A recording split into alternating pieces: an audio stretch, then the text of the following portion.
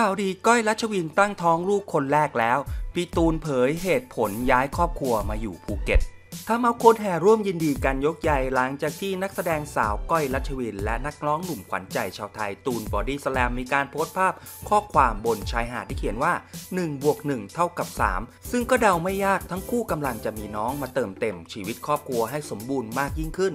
ล่าสุดนะครับก้อยรัชวินได้เผยแพร่คลิปลงวิดีโอ YouTube นะครับที่ช่องรัชวิน Journal นะครับพร้อมระบุชื่อคลิปว่า EP 0 1บวก1เท่ากับ3นะครับก้อยกับตูนมีข่าวดีจะมาบอกค่ะ ซึ่งภายในคลิปมีการพูดถึงความรู้สึกหลังแต่งงาน และเหตุผลที่พี่ตูน อยากย้ายครอบครัวมาอยู่ที่ภูเก็ต เนื่องจากตนเป็นคนชอบทะเล ไม่อยากอยู่แค่ ใกล้ๆกรุงเทพ อยากให้ลูกได้อยู่ในสภาพแวดล้อมที่เป็นธรรมชาติ เมื่อถูกถามว่าอยากมีลูกกี่คนหนุ่มตูนเผยว่าถ้ามีคงไม่มีแค่คนเดียวอย่างน้อยต้องสองคนเป็นเพื่อนกัน แต่ต้องคิดว่าคนแรกจะมาตอนไหนถ้าสมมติ คนแรกมา แล้วคนที่สองห่างกันมาก มันก็ไม่เวิร์กสำหรับแม่ เพราะถ้ายิ่งอายุเยอะก็อันตราย ซึ่งถ้ามีลูกก็คงเป็นคนอาสาไปรับส่งลูกด้วยตัวเอง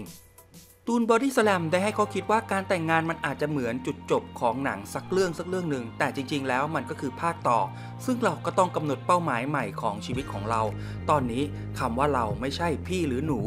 ก่อนท้ายคลิปนะครับ ก็มีช่วงสุดเซอร์ไพรส์นะครับ ตอนที่สาวก้อยกำลังตั้งครรภ์ลูกคนแรก พร้อมเผย ภาพอัลตราซาวหัวใจของลูกคนแรกด้วยนะครับซึ่งเพศของทั้งคู่เนี่ยก็ขออุบไว้ก่อนนะครับ